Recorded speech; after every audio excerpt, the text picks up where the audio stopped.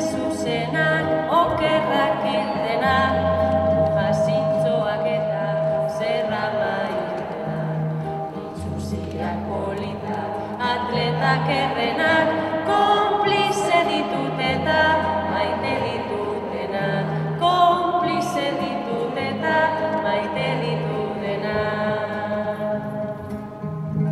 Estatu Espainiarra ondoratzen ari den estatua da. Ondoratzen ari da instituzionalki eta politikoki, eta sozialki ere ondoratzen ari da. Emakumeak bigarren mailako hiritar izatera kondenatzen dituen eredu baino ez duelako eskaintzen. Eredu horri esan nahi diogu agur. Agur orain eta betiko. Eta horretarako modu bakarra, bide bakarra euskal emakumeak gure etorkizunaren jabe izatea da. Gure erabaki guztien jabe, mugari gabe, inposiziori gabe, urrutiko aginteri gabe.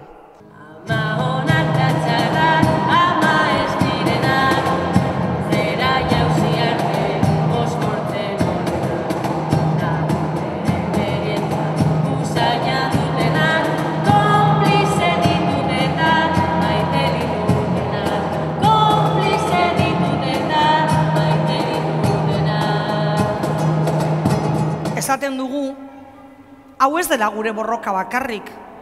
Hemen gauden ezkertiar guztiok, ulertu behar duguna da, guk, emakumeok, borroka sozial guztiak gureak direla, ulertu dugun moduan, zuek, gizonezkook, ulertu behar duzuela, gure gorputzen, askatasunaren eta gure eskubideen aldeko borroka hori zuena ere badela. Ze ze Euskal Herri libre eraikiko dugu, euneko berrogeta marra ezin bagara libre bizi.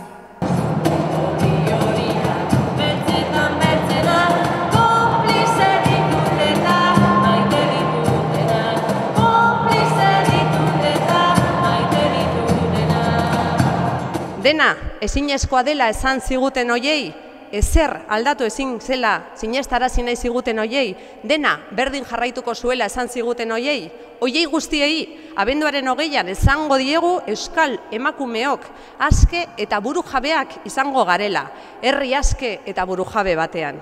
Eta horretarako emakumeok hautetzontziak bete behar ditugu. Ilusiozko botoekin, aldaketarako botoekin, buru jabetza eta askatasunerako botoekin, EH Bilduren botoekin.